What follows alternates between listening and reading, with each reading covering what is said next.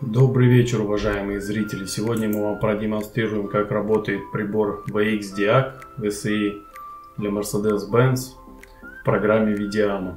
Мы подключили его к нему и настроили, произвели настройки. Включаем наша Videama, видим, что он определяется как MTS6532. Запускаем наш E-код. В данном случае мы будем соединяться к машине ML164 и проверять работу. Выбираем наш CBF файл. В правом верхнем углу мы видим подключение, замочек, а, что мы подключаемся через прибор VCI.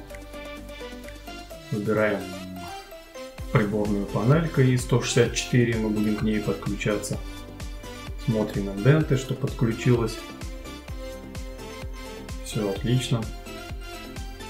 Выбираем кодирование. Видим, что у нас э, мгновенное подключение практически проходит. Выбираем меню. Продемонстрируем включение-выключение Фаренгейт и в Цельсии. Закодируем. Перейдем обратно в Фаренгейте, нажимаем кодирование. Видим, что происходит мгновенное кодирование, очень быстро работает прибор. Обратно возвращаем в Цельсии. Билда очень удобная, быстрая. Видим, что это все реально происходит. Сброс, производим сброс приборки. Видим, что у нас ну, сбрасывается приборная панель в реальном времени. Также демонстрация того, что вот у нас через шнурок подключен ECX SE, наш прибор для работы с Mercedes-Benz.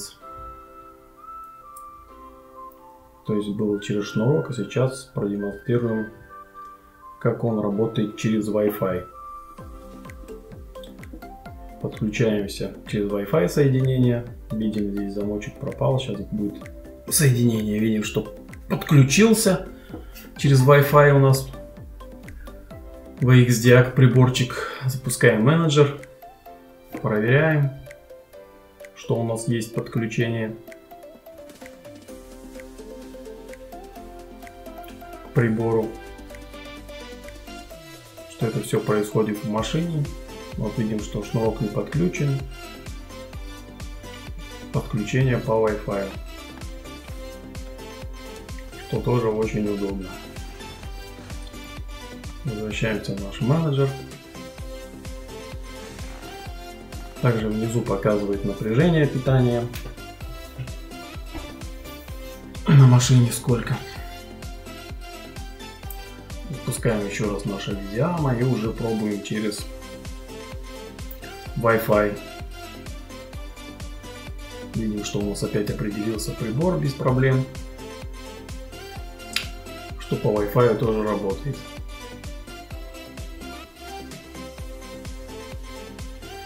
Лицензия наша.